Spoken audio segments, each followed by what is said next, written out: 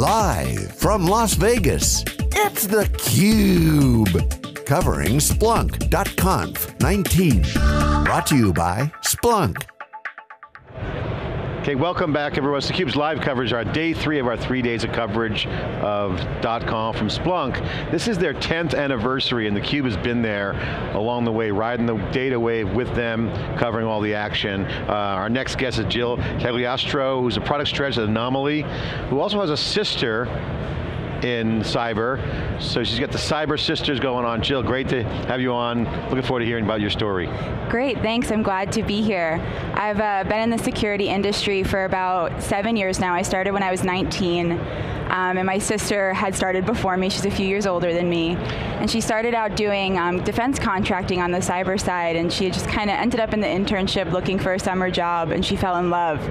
And as I got to kind of learn about what she was doing and how it all worked together, I started to pursue it at Georgia Tech. And I joined our on-campus hackers club, Grey Hat. I was uh, the first female executive. That was fun. Um, I ended up getting an internship from there with ConocoPhillips and Bishop Fox, yeah. and moved on to the vendor side eventually with a brief stop in security operations. And so you have a computer science degree from Georgia Tech, is that right? I do, and I'm actually pursuing my master's in their online master's in cybersecurity program right now as well. Awesome. Mm -hmm. Georgia Tech, great school, one of the best computer science programs, been following it for years. Yeah. Amazing graduates come out of there. Yeah, we've got some pretty impressive graduates. So you just jump sure. right into cyber, okay? Male, yeah. male dominated field, more women are coming in, more than ever now because um, there's, a, there's, a, big surface area in security.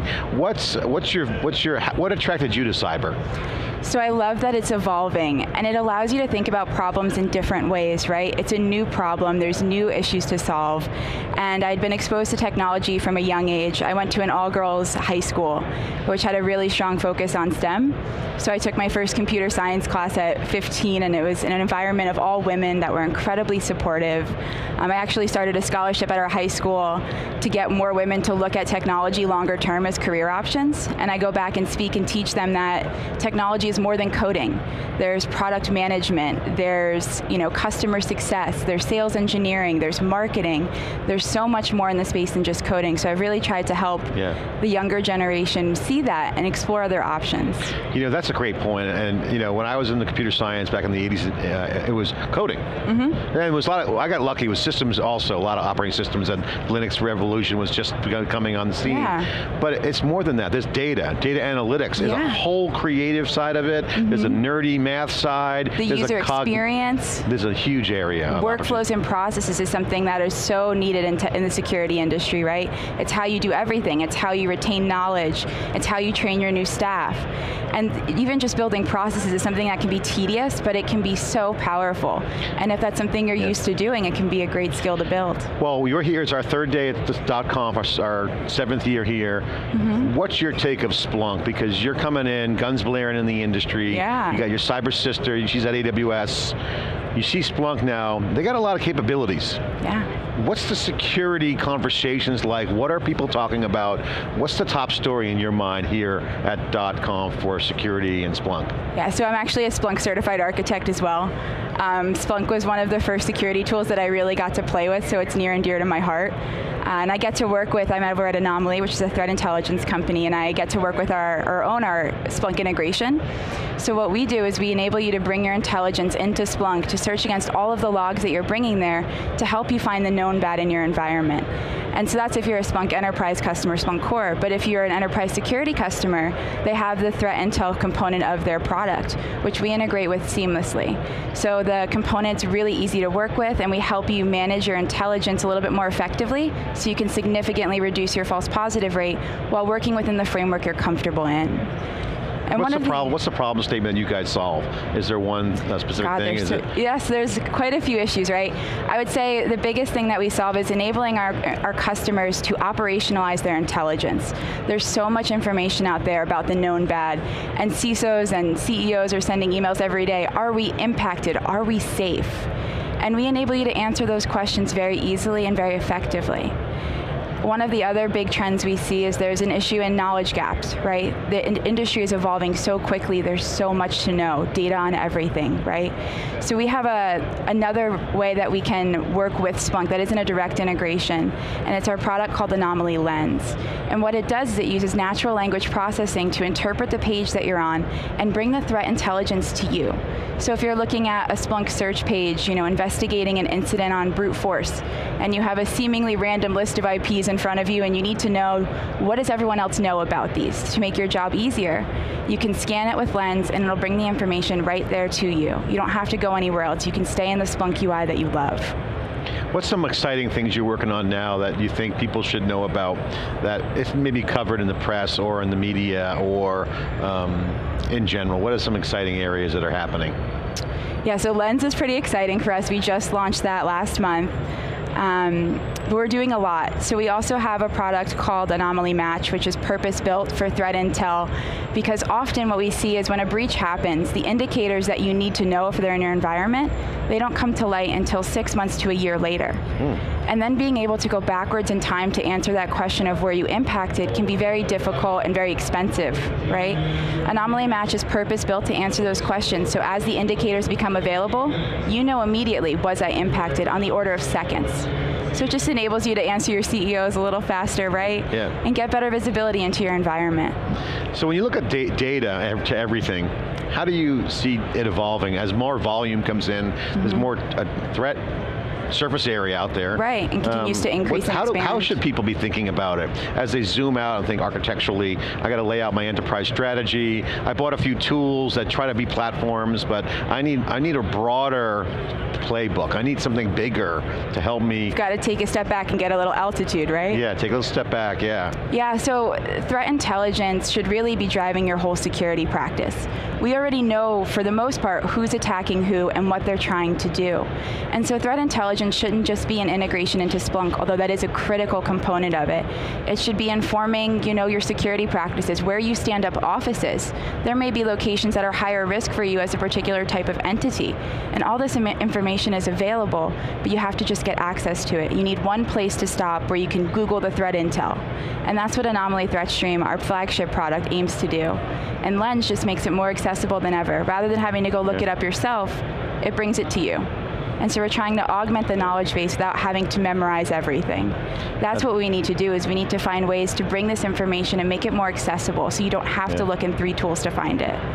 So I got to ask you to change topics as the yeah. younger generation comes into the industry. One of the things that I'm seeing as a trend is more developers are coming in. Mm -hmm. And it's not just so much DevOps, because cloud's great, we love DevOps, but ops, network ops and security ops are also a big part of it. People are building applications now. So like, you're seeing startups, mm -hmm. there's been tech for good good startups coming out where you're seeing uh, great examples of people literally standing up applications with data. What's the young generation, because there's a hacker culture out there that can move fast, solve yeah. a problem, but they don't have to provision a lot of stuff. That's what cloud computing does, but now Splunks of the world, data is becoming more accessible. Data is the raw materials to get that asset or that value. Yeah. What are developers, how do you see the developers programming with data? So they're looking at their jobs and saying, what am I bored doing that I have to do over and over every day?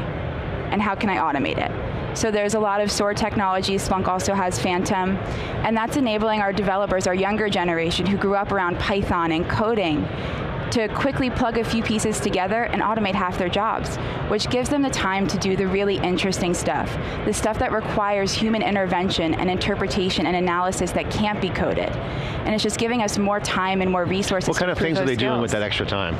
Creative yeah. things, pet projects or oh critical God, problems? so many pet projects. Oh God, what are you interested in? I've seen things, um, being done to like mine Bitcoin on the side, right, to make a little extra cash. That's always fun.